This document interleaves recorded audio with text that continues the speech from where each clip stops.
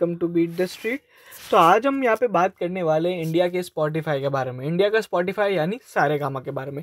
इस वीडियो में करेंगे कंपनी के बिज़नेस का एनालिसिस फंडामेंटल्स को समझेंगे कंपनी काम क्या करती है, पैसे कैसे कमा रही है फिनेंशियल्स कैसे है कंपनी का मैनेजमेंट क्या सोच रहा है, और यहाँ पर आपको क्या करना चाहिए। ऑलरेडी शेयर में एक अच्छे खासे रिटर्न देखने को मिले लगभग लास्ट ईयर के लो से अगर अपन कंपेयर करें तो टेन एक्स रिटर्न देखने को मिल चुके हैं। लेकिन अब भी इसमें ग्रोथ बाकी बिकॉज़ ऑफ़ यहाँ पे फ्यूचर जिस इंडस्ट्री में काम कर रही है, वो बहुत ज़्यादा यहाँ पे ग्रो करने वाली है। चलिए, अगर आप हमारे चैनल पे पहली बार आ रहे हैं तो चैनल को ज़रूर सब्सक्राइब करें और बेल आइकन ज़रूर दबाएँ। सबसे पहले सारे कामा के बिज़नेस मॉडल को समझ लेते हैं।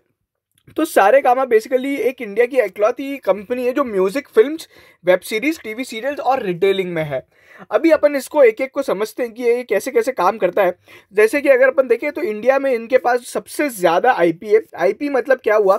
आईपी का मतलब हुआ, जो इनके पास जो अपने इंटेलेक्चुअल प्रॉपर्टी इंटेलेक्चुअल प्रॉपर्टी क्या होता है? जैसे कि आपने कोई म्यूज़िक क्रिएट किया तो या फिर आपने कोई म्यूज़िक खरीदा तो उसका राइट आपको मिल जाएगा। मतलब एक तरीके से basically virtual right virtual asset तो इनके पास एक लाख तीस हज़ार से ज़्यादा इनके गाने इनके पास है, जो कि इंडिया में सबसे ज़्यादा लार्जेस्ट म्यूज़िक आई पी है इंटेलेक्चुअल प्रॉपर्टी राइट्स है।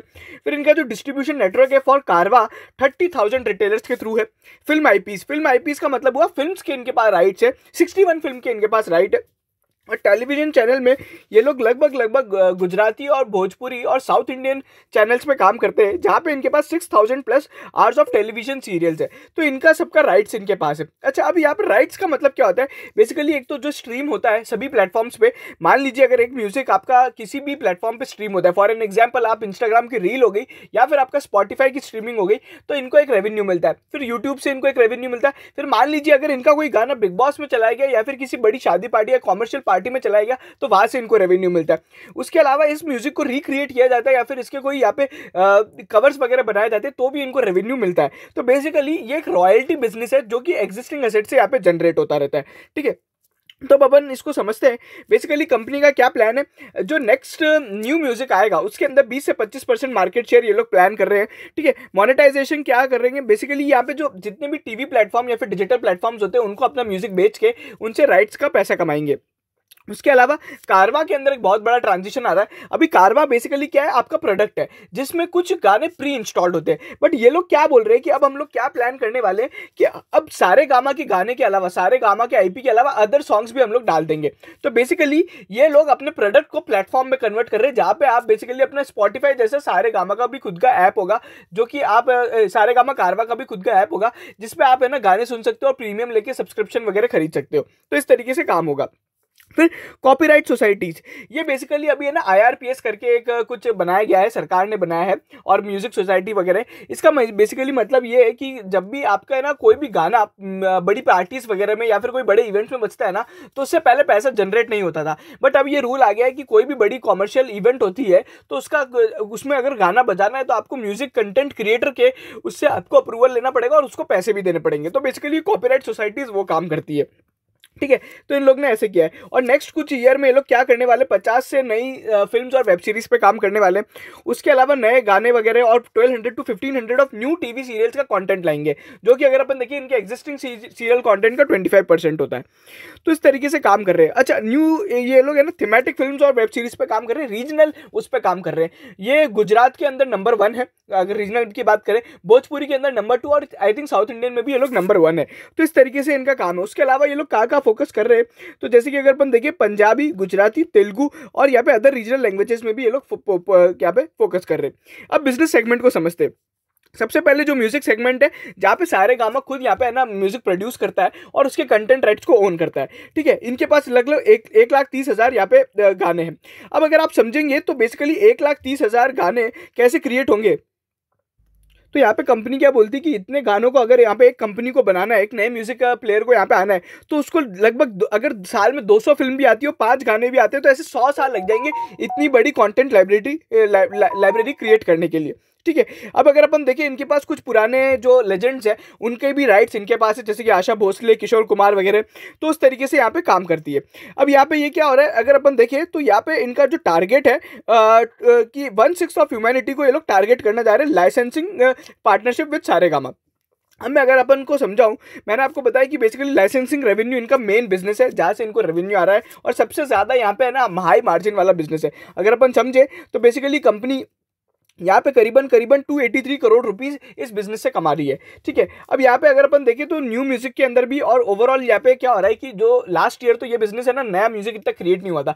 तो ओल्ड प्लेटफॉर्म्स में जो सबसे ज़्यादा बड़ा था, जो कि सारे गामा है तो उसके ही म्यूज़िक बार बार लोगों ने स्ट्रीम कर, करके यहाँ पे क्रिएट किए। अब जैसे कि जैसे ओवरऑल यहाँ पे जब इकोनॉमी रिवाइव हो रही है और फ़िल्म इंडस्ट्री भी रिवाइव हो रही है तो यहाँ पे नए नए म्यूज़िक और क्रिएट होगा और इसमें जो ये लोग मार्केट से प्लान कर रहे हैं तो इनका बिज़नेस वापस से ग्रो होगा। तो एग्जिस्टिंग और न्यू बिज़नेस एग्जिस्टिंग सॉन्ग्स और न्यू सॉन्ग से इनका बिज़नेस क्रिएट होगा। ठीक है? अब अगर अपन समझे तो मैंने आपको बताया था ये लोग कैसे कैसे कमा रहे हैं। बेसिकली कहीं पर भी अगर ये गाना स्ट्रीम होता है, किसी भी चैनल किसी भी प्लेटफॉर्म किसी भी जगह पर तो इनको पैसा मिलता है। ठीक है? तो इस तरीके से काम होता है। अब अगर अपन देखें तो ये आईपी क्रिएशन का काम करते हैं। ये क्या करते हैं? बेसिकली आईपी क्रिएशन में भी बहुत बार खुद क्रिएट करते हैं या फिर बहुत बार है ना राइट्स खरीद लेते हैं। तो जैसे कि इन लोग ने पानी पानी का राइट वगैरह ना, खरीदा था। और वहीं पर अगर अपन देखें तो इनका जो म्यूज़िक सेलेक्शन प्रोसेस है, जैसे मान लीजिए बादशाह ने कोई गाना बनाया है, ठीक है, उसने लिखा है और उसको यहाँ पे अब उसको लेना है, नहीं लेना है तो बेसिकली ये लोग तीन साल का ट्रैक रिकॉर्ड देखते हैं। सिंगर का म्यूज़िक कंपोजर का लिरिसिस्ट का एक्टर्स का प्रोडक्शन हाउस का popularity of the music genre का।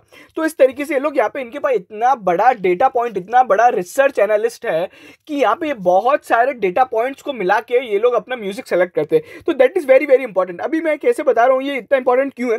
अगर आपने कोई फ्लॉप म्यूज़िक यहाँ पे एक्वायर कर लिया, उसके पैसे दे दिए तो क्या होगा कि आपका तो पैसा लग गया प्रोडक्शन में या फिर ना एक्विजिशन में बट उससे आप रेवेन्यू जनरेट नहीं कर पाओगे। तो सही सेलेक्शन ऑफ़ म्यूज़िक यहाँ पे आपको बहुत बहुत ज़्यादा इंपॉर्टेंट है।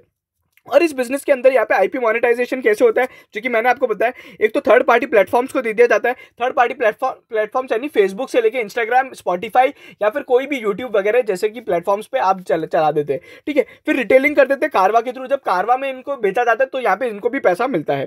ठीक है? अब यहाँ पे कंपनी ने बताया कि 85 billion times F Y twenty one में इनका ऑडियो प्लेटफॉर्म इनके यहाँ पे ना, गाने को यूज़ किया गया है। तो इसी तरीके से होता है। अब ये अगर अपन देखें तो ये कैसे कमाते हैं? अगर अपन देखें तो ये म्यूज़िक स्ट्रीमिंग प्लेटफॉर्म से इनकी जो ग्रोथ है, यहाँ पे अगर अपन देखें फोर्टी फाइव फोर्टी परसेंट की ग्रोथ आई थी और यहाँ पे फर्दर ईयर्स में ये लोग और ज़्यादा ग्रोथ प्लान कर रहे हैं। तो ये म्यूज़िक स्ट्रीमिंग इतने लोगों से ये लोग काम करते हैं, जहाँ जहाँ पे इनका यहाँ पे गाना मिलता है। उसके अलावा, अगर अपन देखें, टीवी चैनल्स पे भी ये लोग करते हैं, जब इनका ही गाना कोई टीवी सीरियल के अंदर आता है तो यहाँ से उनको अर्निंग्स होती है। उसके अलावा वीडियो स्ट्रीमिंग प्लेटफॉर्म्स में क्या होता है, यहाँ पे सारे गाना अपना म्यूज़िक किसी वेब सीरीज़ को दे देता है तो उस तरीके से भी काम होता है, ठीक है? तो उस तरीके से यहाँ पे ये लोग पैसा कमाते हैं। उसके अलावा अगर अपन देखें तो सोशल मीडिया प्लेटफॉर्म जैसे कि अगर अपन देखिए यूट्यूब पे जब गाना चलता है, या फिर अदर थर्ड पार्टी वेबसाइट्स पे चलता है इनका तो उस तरीके से भी ये लोग यहाँ पे पैसा कमाते हैं।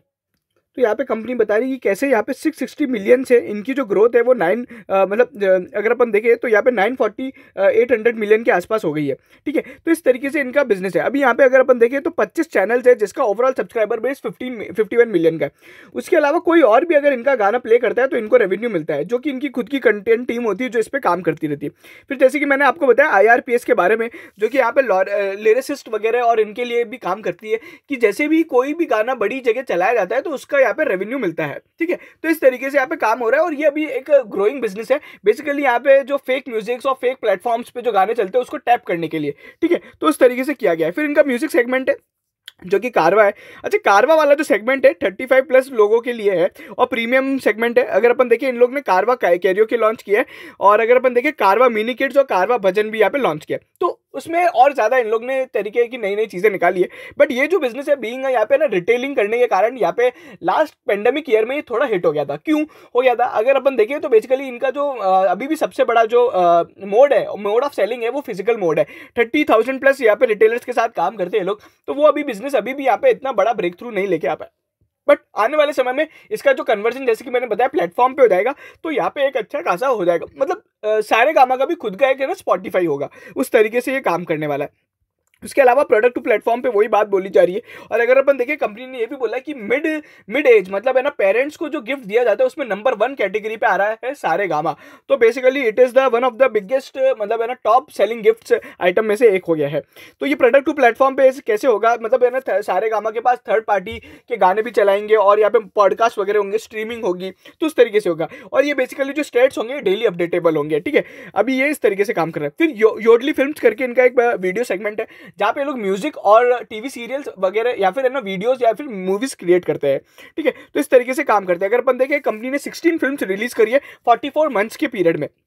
जिसमें से नेटफ्लिक्स डिज्नी हॉटस्टार और अगर अपन देखें यहाँ पे जी फाइव के साथ काम किया है। अच्छा एक और चीज़ है, यहाँ पे कंपनी ने अपने गॉन कॉल में बोला था कि हम, है ना म्यूज़िक तब क्रिएट एक मूवी को तब क्रिएट करते हैं जब बेसिकली हमारे पास सामने स्ट्रीमिंग पार्टनर होता है। हम कभी भी ऐसे नहीं करते कि यहाँ पे म्यूज़िक हम लोग ने पहले मूवी क्रिएट करी, फिर हम स्ट्रीमिंग पार्टनर ढूँढने जाएँगे और हो सकता है कि यहाँ पे स्ट्रीमिंग पार्टनर हमें मना कर दे। पहले ये लोग स्ट्रीमिंग पार्टनर को यहाँ पे कैप्चर कर लेते, उसी के बाद ये लोग प्रोडक्शन में काम करते तो इस तरीके से काम होता है, जिससे इनका लॉस कम हो जाता है। टीवी सीरियल्स में मैंने बताया आपको कि यहाँ पे तमिल के अंदर लोग बहुत बड़े हैं। तो यहाँ पे अगर अपन देखें सन टीवी इनका खुद का है, जो कि यहाँ पे सिक्स थाउज़ेंड मतलब वहाँ पे इनका सिक्स थाउज़ेंड प्लस यहाँ पे तीन चार सीरियल चलते हैं और नंबर वन कंपनी है। उसके अलावा यहाँ पे इनका कुछ मैगजीन वाला भी बिज़नेस है। तो इस तरीके से काम होता है। Revenue from operation last year थोड़ा कम हो गया था बिकॉज़ ऑफ़ पेंडेमिक क्योंकि नया म्यूज़िक यहाँ पे जनरेट नहीं हुआ था। म्यूज़िक लाइसेंसिंग रेवेन्यू बढ़ गया था बिकॉज़ कंपनी लोग बाग पुराने ही गाने को बार बार चला रहे थे और उन कंपनियों को ज़्यादा फ़ायदा हुआ जिनके पास ज़्यादा बड़ा म्यूज़िक लाइब्रेरी कॉन्टेंट था। फिर इनका जो पैट है वो एकदम से ग्रो हो गया था। उसके पीछे क्या सिंपल रीजन है? बेसिकली आपने पुरानी ही चीज़ों को बेच बेच के यहाँ पे पैसा कमाया है। जैसे कि मैं आपको बोल रहा हूँ कि नए गाने तो बने नहीं थे तो इनका खर्चा हुआ नहीं। ठीक है, इस तरीके से यहाँ पे काम हुआ अब ये जो पैट का मार्जिन है, ये बेसिकली अपने को देखना रहेगा कि कंपनी मेंटेन कर पाती है नहीं कर पाती। आर और आर ओ सी यहाँ पे एकदम से यहाँ पे आपको देखेंगे तो यहाँ पे एकदम से बढ़ाव दिखाई देगा। Book value per share one है। अगर अपन देखें तो बेसिकली दो पर शेयर है और आज यहाँ पे चार हज़ार का भाव है तो ट्वेंटी के प्राइस टू बुक रेशो पर ट्रेड हो रहा है। वहीं पर अगर अपन देखें तो इसका जो ईपीएस है, चौसठ के ईपीएस के हिसाब से भी अगर आप देखोगे तो काफ़ी अच्छे भाव पे है एक हाई पी स्टॉक है और पैट भी इनका एकदम से ग्रो हुआ है और आर के लेवल्स और आर के लेवल्स मैंने आपको बता दिए थे डिविडेंड पेइंग कंपनी है बिकॉज़ यहाँ पे एक असेट लाइट मॉडल पे काम करती है। इनके ज़्यादा यहाँ पे कोई खर्चा नहीं, ज़्यादा कोई एसेट नहीं है डेट इनके पास कोई है नहीं। अच्छा कंपनी के मैनेजमेंट की बात करें तो विक्रम मेहरा है, जो कि बेसिकली काफ़ी टाइम से 2014 से इनके साथ है। उससे पहले ये बेसिकली टाटा स्काई और स्टार टीवी के साथ थे। फिर जो इनके सी हैं, जो कि 26 साल से इस इंडस्ट्री में बेसिकली अभी तो वो रिटायरमेंट पे मतलब एक मेडिकल लीव पे गए हुए तो इस तरीके से ओवरऑल मैं आपको बताना चाह रहा हूँ कि मैनेजमेंट भी यहाँ पे एक अच्छा खासा है। अभी तक तो कोई खास कॉर्पोरेट गवर्नेंस के इश्यूज़ देखे नहीं गए overall R P Sanjiv Goenka जो बेसिकली ग्रुप है गोयनका ग्रुप हर्ष गोयनका और संजीव गोयनका तो उनकी ये मैनेजमेंट उनकी ओनरशिप में कंपनी काम करती है। ठीक है अब यहाँ पे थोड़ा बहुत है ना मैनेजमेंट डिस्कशन एंड एनालिसिस जो कि एक एनुअल रिपोर्ट का सबसे इंपॉर्टेंट पार्ट होता है। यहाँ पे एक तो बेसिकली बताया कि इंडिया में जो इंडस्ट्री है two point two three trillion rupees की हो जाएगी। और वहीं पे अगर अपन देखिए, जो कंटेंट क्रिए कंज्यूम किया गया है, वो प्री पेंडेमिक लेवल्स को भी यहाँ पे बेसिकली यहाँ पे पीछे छोड़ दिया गया है। उसके अलावा यहाँ पे कंपनी बोल रही कि यहाँ पे जो स्मार्ट टीवी है, अभी सेवन हंड्रेड लोगों के आसपास आ चुका है, जो कि बेसिकली यहाँ पे जो नेक्स्ट ड्राइवर ऑफ़ ग्रोथ है लो कॉस्ट ऑफ़ डेटा है, जो कि यहाँ पे जियो के कारण आया है। और यहाँ पे ट्रेडिशनल और न्यू एज स्टोरी दोनों ही के कंटेंट क्रिएट हो रहे हैं। और जिस तरीके से इनका बेसिकली बिज़नेस अट्रैक्शन हो रहा है इन एग्जिस्टिंग मूवीज़ जैसे कि डेली क्राइम को इनने अपना बेसिकली गाना बेचा था तो उस तरीके से भी काम हो रहा है। अच्छा इस बिज़नेस में एक और जो चीज़ है, हमेशा एक की ट्रिगर समझ लेना, इनका कोई गाना, सारे गामा का अगर कोई गाना या कोई मूवी अगर यहाँ पे हिट होती है तो यहाँ पे आप समझ लीजिए कि उसके शेयर प्राइस में एक मूवमेंट दिखेगा ही दिखेगा। जैसे कि पानी पानी, इनका गाना था जो कि बहुत हिट हुआ था तो बेसिकली उसके कारण शेयर प्राइस में मूवमेंट आया था। अपने को हर क्वार्टर ये देखना है कि इनके कोई गाने मतलब बेसिकली इनका जो म्यूज़िक स्ट्रीमिंग प्लेटफॉर्म है, सारे गामा का यूट्यूब चैनल उस पर देख लीजिए, कोई ट्रेंडिंग सॉन्ग इनका तो नहीं बन गया मतलब इतना बड़ा हिट गाना अगर किसी का आता है या फिर इतनी हिट कोई वेब सीरीज़ इनकी आती है तो बेसिकली इनको फ़ायदा ज़्यादा होगा। ठीक है? तो ये बेसिकली की ट्रिगर पॉइंट है। अच्छा ये मैं आपको क्या बता रहा हूँ? चेंजिंग मीडिया कंजप्शन है कि कैसे यहाँ पे है ना धीरे धीरे यहाँ पे अपना म्यूज़िक का जो कंटेंट कंज्यूम करने का तरीका है, वो अब मोबाइल की ओर बढ़ता जा रहा है, ठीक है? और मैगजीन रेडियो टेलीविज़न तो धीरे धीरे खत्म होते जा रहे हैं। तो इस तरीके से है। फिर अगर अपन देखें इंडिया में ट्वेल्व बारह से भी ज़्यादा स्ट्रीमिंग प्लेटफॉर्म्स है, जो कि 900 टीवी चैनल्स और 360 रेडियो स्टेशन के साथ यहाँ पे फाइट कर रहे हैं। अच्छा सारे काम का क्या प्लान है? एक तो एग्जिस्टिंग म्यूज़िक को मोनिटाइज करना है मतलब बार बार बेचना है, नए म्यूज़िक क्रिएट करने का प्लान है। दूसरा, यहाँ पर डायरेक्ट टू कंज्यूमर के रिटेल बिज़नेस को बढ़ाना है, ठीक है? अभी अगर अपन देखें, ये आईपी कंटेंट मोनेटाइजेशन का बेसिकली बिज़नेस बताया, कैसे एकदम से यहाँ पे इंडस्ट्री बीच में खराब हो गई थी, और उसके बाद से यहाँ पे डिजिटल रेवेन्यूज के कारण यहाँ पे इंडस्ट्री बढ़ती गई है। और अगर अपन देखें तो टोटल स्ट्रीमिंग वाला जो बिज़नेस है और यहाँ पे डिजिटल वाला जो बिज़नेस है वो एकदम से बढ़ गया है। तो स्ट्रीमिंग बिज़नेस ने बहुत ज़्यादा ग्रोथ करी और फ़िज़िकल बिज़नेस धीरे धीरे कम होता जा रहा है। तो इस तरीके से काम कर रहा है। यूट्यूब नेटफ्लिक्स गाना स्पॉटीफाई वगैरह सब जगह पे काम करता है। और वहीं पे सारे गामा का जो मैनेजमेंट का प्लान है कि अभी जो हमारा एक लाइसेंसिंग रेवेन्यू जो सबसे हाई अर्निंग बिज़नेस था, जो सबसे बड़ा भी है, वो ट्वेंटी परसेंट से ग्रो हुआ है तीन साल में। अब कंपनी क्या प्लान कर रही है? ओवरऑल जो हमारा बिज़नेस है, बीस से पच्चीस की ग्रोथ हासिल करेगा। ठीक है? तो इस तरीके से यहाँ पे कंपनी काम कर रही है।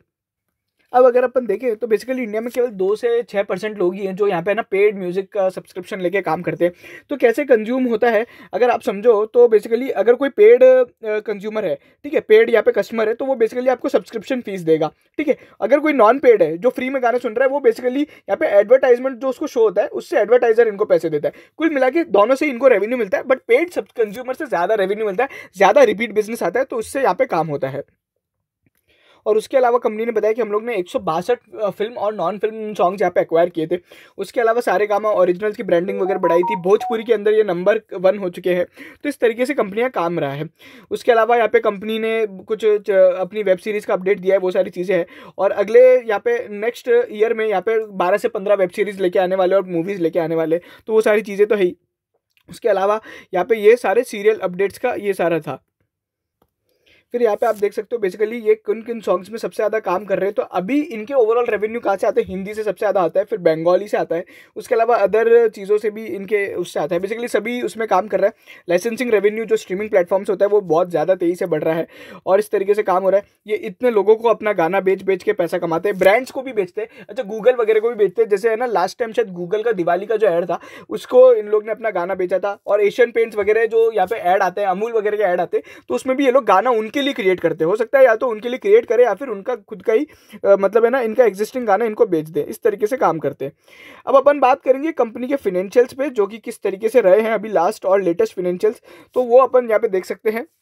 अगर अपन देखें तो यहाँ पे रेवेन्यू में ट्वेंटी थर्टी टू परसेंट की क्यू ऑन क्यू ग्रोथ थी और यहाँ पे प्रॉफिटेबल ओवरऑल यहाँ पे वाई वाई बेसिस पे ट्वेंटी वन परसेंट की ग्रोथ थी। फिर उनकी जो ऑपरेटिंग इनकम है ट्वेंटी सेवन परसेंट से क्यू ऑन क्यू बढ़ी थी और यहाँ पे वाई वाई बेसिस पे थर्टी एट परसेंट से बढ़ी थी। ओवरऑल यहाँ पे जो एबिटा मार्जिन रहा है वो थर्टी सेवन परसेंट के आसपास रहा है। मतलब एक high EBITDA margin earning business है। यहाँ पे एक और चीज़ है कि डबल डिजिट की ग्रोथ कंपनी ने प्लान करी है। अच्छा उसके अलावा यहाँ पे ओवरऑल इकोनॉमी के इन्फ्लेशन के कारण यहाँ पे एबिटा मार्जिन थोड़े बहुत हिट हुए हैं। बट अगर अपन देखें, बाकी मैन्युफैक्चरिंग बिज़नेस जो होते हैं अदर बिज़नेस जो है, उसके जितना इनका बिज़नेस यहाँ पे हिट नहीं हुआ है। तो इसलिए यहाँ पे काम हो रहा है। अच्छा पैट मार्जिन यहाँ पे इनका अच्छा खासा है और पैट में भी एक अच्छी खासी ग्रोथ है। तो डबल डिजिट ग्रोथ यहाँ पे दी गई है। अच्छा कंपनी ने करीबन है ना यहाँ पे कुछ तीन सौ, साढ़े तीन सौ करोड़ की यहाँ पे फंडिंग का भी प्लान कर रखा है। आई डोंट नो एक्जैक्टली या तो तीन सौ करोड़ या फिर सात सौ करोड़ के आसपास है। तो उसको भी ये लोग कंपनी अभी आगे अपने फ्यूचर ग्रोथ के लिए यूज़ करेगी। अभी बोर्ड ने अप्रूव किया किस तरीके से फंडिंग होगी, इस पर कोई यहाँ पे डिसीज़न नहीं है। ओवरऑल यहाँ पे बैलेंस शीट में तो यहाँ पे कुछ है नहीं इनका। बिकॉज़ यहाँ पे इनके पास मेन जो एसेट्स है वो तो अपना एक तो आईपी राइट्स वगैरह हो गए और पीपी वगैरह हो गया। उसके अलावा लाइबिलिटी साइड में इनके पास कुछ भी नहीं है। अगर अपन देखें तो कंपनी के पास कैश ज़्यादा है। अगर अपन देखें बैंक बैलेंस और कैश में एक काफ़ी रिच कंपनी है और उसके अगेंस्ट में इनके पास जो लाइबिलिटीज़ है वो इतनी नहीं है। तो ओवरऑल आप कह सकते हो डेट फ्री कंपनी है। उसके अलावा यहाँ पे अगर अपन देखें तो ऑपरेटिंग कैश फ्लोज किस तरीके से रहे हैं तो ऑपरेटिंग कैश फ्लोज यहाँ पे पॉजिटिव रहे हैं, अगर अपन देखें। और यहीं पे अगर अपन देखें 277 मिलियन कंपनी ने कैश जनरेट किया ऑपरेशन से। वहीं पे अगर अपन देखें H one F I twenty one का जो बेसिकली रेवेन्यू है पीबीटी है तो यहाँ पे अगर अपन देखें पीबीटी का eight eight twenty one million का मतलब एक अच्छा खासा थर्टी परसेंट बिज़नेस अपन कैश में जनरेट कर पा रहे ओवरऑल अगर आप देखोगे तो यहाँ पे एक अच्छा खासा यहाँ पे परसेंटेज है। तो बेसिकली कैश जनरेशन जो है, वो काफ़ी अच्छा है। उसके अलावा फाइनेंसिंग से यहाँ पे कैश फ्लो बेसिकली यहाँ पे नेगेटिव रहा है बिकॉज़ कंपनी ने अपनी बोरिंग्स वगैरह को पेमेंट वगैरह किया है तो इस तरीके से काम किया है और इस तरीके से काम हो रहा है। तो यहाँ पे investing cash flow last time negative था बेसिकली अच्छी बात है कंपनी जो ग्रोइंग कंपनी होती है, उस तरीके से काम करती है। तो वापस कुछ की वैल्यूएशन के रेशोज देखें तो 54 के पी पे कंपनी काम कर रही है। ईवी टू इबिटा 37 का है प्राइस टू बुक रेशो 11 का है। अगर अपन देखें इन्हीं फ्रंट्स पे तो कंपनी यहाँ पे बेसिकली टिप्स इंडस्ट्रीज़ जो कि इमीडिएट पियर है, उससे ज़्यादा हाई वैल्यू वैल्यूएशन पे काम कर रही है। बिकॉज़ ऑफ़ ओवरऑल जो इनका बिज़नेस है, वो कंपेरेटिवली इनका स्ट्रॉग है। वहीं पर अगर अदर एंटरटेनमेंट प्लेटफॉर्म से देखें लाइक जी एंटरटेनमेंट वगैरह या फिर उससे तो भी इनके वैल्यूएशन हाई है। अच्छा यहाँ पे शेयर होल्डिंग पैटर्न की बात करें कंपनी के शेयर होल्डिंग पैटर्न में क्या चेंजेस है? तो प्रमोटर ने रिसेंटली यहाँ पे स्टेक बढ़ाया है। सिक्सटी थ्री परसेंट अपना स्टेक हो गया इनका भी।